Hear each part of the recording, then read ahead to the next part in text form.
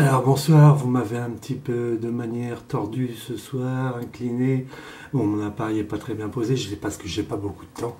C'est juste pour vous souhaiter à tous, internautes, euh, enfin ceux qui, celles qui me suivent, ils sont pas très nombreux, mais ils sont quelques-uns. Il paraît que ça remplit une petite salle de cinéma.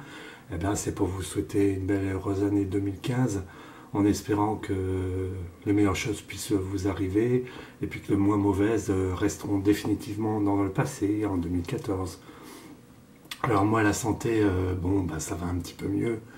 Heureusement, ça va un peu mieux, et puis et puis, euh, malheureusement, j'ai des personnes autour de moi qui ne sont pas en bonne santé, dont une tante et ma belle-mère, où il y a des suspicions de maladie. Enfin, bref, je vais bien prier pour eux. Enfin, je vous souhaite encore une belle et heureuse année 2015.